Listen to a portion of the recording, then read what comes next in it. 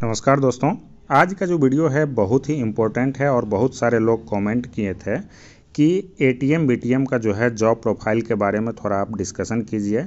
तो उन लोगों के डिमांड पे खास करके यह वीडियो में लाया हूँ और एटीएम बीटीएम का जॉब प्रोफ़ाइल पूरा डिटेल्स में बताने वाला हूँ। तो वीडियो को शुरू से लेकर लास्ट तक देखिएगा, तब आपको सारी चीज़ ए टू जेड समझ में आ जाएगी कि इसका क्या कार्य होता है। कितनी सैलरी मिलती है, कितना इंक्रीमेंट मिलता है, कितना इसका छुट्टी मिलता है।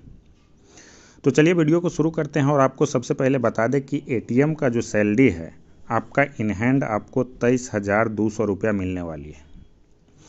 और बीटीएम का सैलरी जो है, आपका तीस हज़ार के अप्रॉक्स होता है। इसमें जो होता है, आपको हर साल इसका रिन्यूअल होता है जॉब। और हर साल जो है इसका इंक्रीमेंट आपको 10 परसेंट देखने को मिलता है। जैसे तेईस हज़ार दो सौ है तो उसके बाद आपको लगभग लगभग 2000 के आसपास इंक्रीमेंट हर साल देखने को मिलेगा। 10 परसेंट आपका जितना भी बेसिक पे रहेगा, उसका 10 परसेंट आपको इंक्रीमेंट इसमें लगता है। तो ये चीज़ तो काफ़ी अच्छा है, क्योंकि अदर गवर्नमेंट जॉब में आपको तीन परसेंट इंक्रीमेंट होता है, इसमें आपको दस परसेंट जो है इंक्रीमेंट देखने को मिलता है। उसके बाद बात कर लेते हैं कि एटीएम का क्या काम होता है।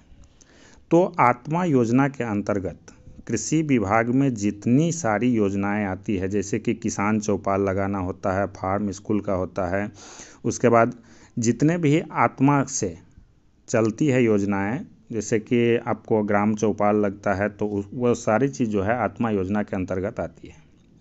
तो उसके लिए आपका काफ़ी अच्छा खासा जो है उसमें पैसा देता है। जैसे कि ग्राम चौपाल लगता है, उसमें दस से बारह हज़ार रुपया आपको दिया जाता है।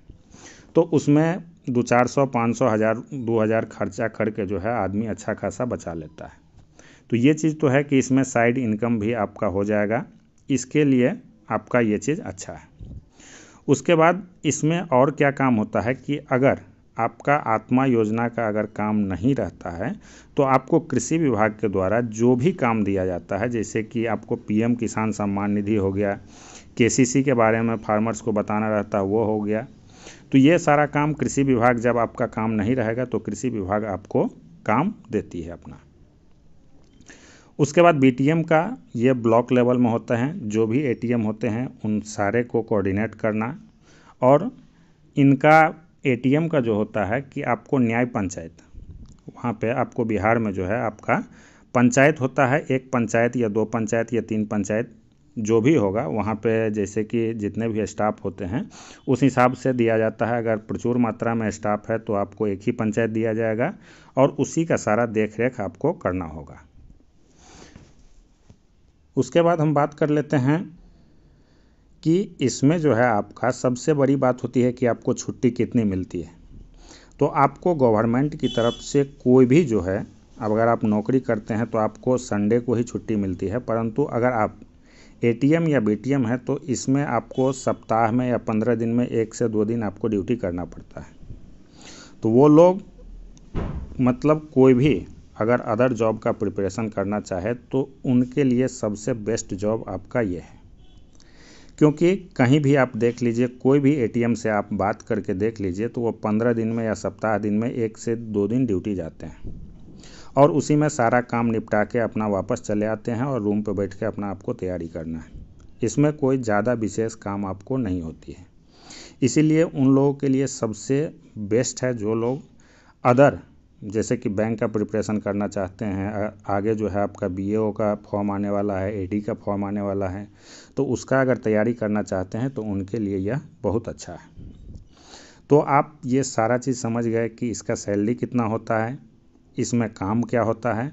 आपको जैसे कि खरीफ में ग्राम चौपाल लगाना पड़ता है, रबी में ग्राम चौपाल लगाना पड़ता है तो ये आपको थोड़ा सा खरीफ और रबी में जिस समय बीज का सीज़न होता है, उस समय आपको थोड़ा सा मेहनत एक दो दिन करना होगा, उसके बाद इसमें कोई मेहनत नहीं है।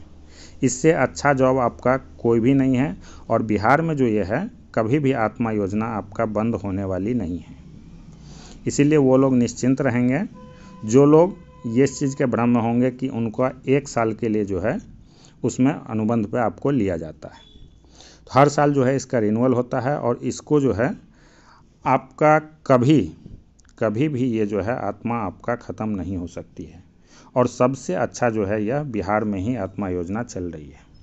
इसीलिए आदमी निश्चिंत रहें और अपने जॉब को करें, जो भी लोग जो भी लोग अभी तक आवेदन नहीं किए हैं, वो लोग अपना आवेदन कर लेंगे। इसका जो है लास्ट डेट आपका तीस अप्रैल तक रखा गया है। थैंक यू अगर आप लोगों को कोई भी दिक्कत हो तो आप कमेंट सेक्शन में मैसेज कर सकते हैं। धन्यवाद।